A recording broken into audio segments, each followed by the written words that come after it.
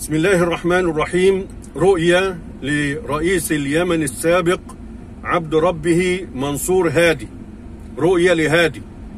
وهو تولى بعد علي عبد الله صالح. الرؤية دي يحكيها صحفي يمني وهو الأستاذ محمد مصطفى العمراني. وحكاها في مقال كتبوا في مجلة مجلة الأمناء نت. تمام؟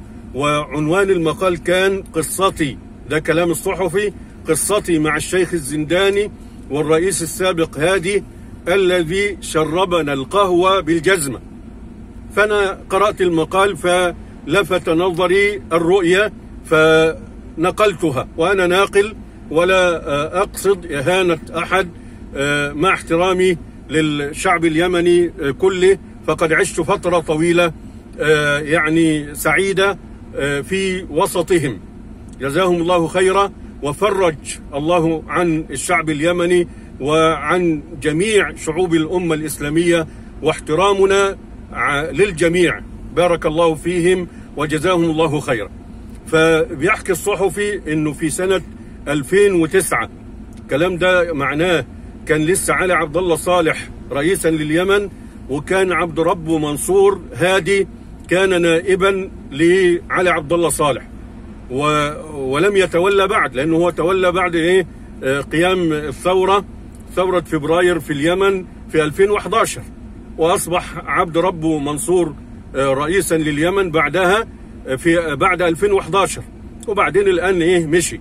المهم فبيحكي محمد مصطفى العمراني تلك الرؤية بيقول بأن في 2009 حكى له أحد الشيوخ ولم يذكر اسمه بأنه رأى في المنام عبد ربه منصور في 2009 وهو لسه نايب يسقي الناس القهوة بالجزمة.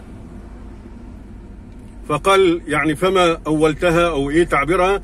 قال ده معناه إنه سيتولى على اليمن وسيكون سببا في إذلال الناس. لأنه يعني إيه؟ بمساعدة آخرين. بالقهوة فيها مرارة وكنها في الجزمة وهي أيضا كأنها إيه بمساعدة بعض العرب لأنها إيه لأنها يعني القهوة مشهورة قهوة عربية وكن يسقيها للناس في الجزمة. فقال يعني معناه إنه يتولى وفعلا تولى وقع نوع من الايه التعب للشعب اليمني والتشريد والمشاكل التي يعرفها كل إيه كل من يعرف أحوال اليمن واليمنيين. فرج الله عنا وعنهم وعن جميع المسلمين والمقال أو رابط المقال أسفل الفيديو والسلام عليكم ورحمة الله وبركاته.